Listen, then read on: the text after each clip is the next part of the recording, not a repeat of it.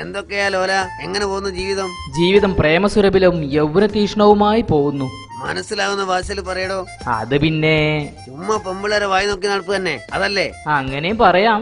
എടാ അനക്കതൊക്കെ ഒന്ന് നിർത്തിയിട്ട് ഒരു പെണ്ണും കെട്ടി സ്വൈര്യമായിട്ട് ജീവിച്ചൂടെ? എന്നിട്ട് വേണം നിങ്ങളെ പോലെ നരയിക്കാൻ ഇതാവുമ്പോ എല്ലായിടത്തും നമ്മുടെ ശ്രദ്ധ എത്തും. അല്ല നിന്റെ പറമ്പ് മുഴുവൻ നല്ല ഗടാഗടിയൻ തെങ്ങുകളാണല്ലോ. വിധിന്ന് കിട്ടുന്ന കൊണ്ടല്ലേ ഞാൻ തട്ടിമുട്ടിയും ജീവിച്ചു പോണത്? അതേതായാലും നന്നായി. നിങ്ങൾ ഈ തെങ്ങ് കണ്ടോ ഗഫൂർക്ക കണ്ടു. ഈ തെങ്ങിന് എന്താണ് പ്രത്യേകത? ഒരു ഫീറ്റ തെങ്ങ്. ഇതിന്റെ മോളിൽ കയറിയാൽ അപ്പുറത്തെ എഞ്ചിനീയറിംഗ് കോളേജിലെ സുന്ദരിമാരെ കാണാ. ആണോ? ഈ തെങ്ങിനെ കൊണ്ട് എന്തൊക്കെ ഉപകാരമാണ് റബ്ബേ? പിന്നെ എഞ്ചിനീയറിംഗ് കോളേജിലെ സുന്ദരിമാരുടെ ഹീറോ അല്ലേ ഞാൻ? തെങ്ങിന്റെ മുകളിൽ തൂങ്ങിക്കിടക്കണ കൊണ്ട് എന്നെ സ്പൈഡർമാൻ എന്നാ വിളിക്കാറ്. എടാ അപ്പുറത്തെ മെഡിക്കൽ കോളേജിൽ ഇതിലും നല്ല സുന്ദരിമാരുണ്ട്. എനിക്കറിയാം ഗഫൂർക്ക. പക്ഷെ എന്ത് ചെയ്യാം? തെങ്ങിന്റെ മണ്ടേന്ന് നോക്കിയാൽ കാണത്തില്ല. നിനക്ക് കാണണോ? തെങ്ങിന്റെ മണ്ടേന്ന് താഴേക്ക് ചാടിയാ മതി. തെങ്ങിന്റെ ഒരു ഉപകാരങ്ങളെ.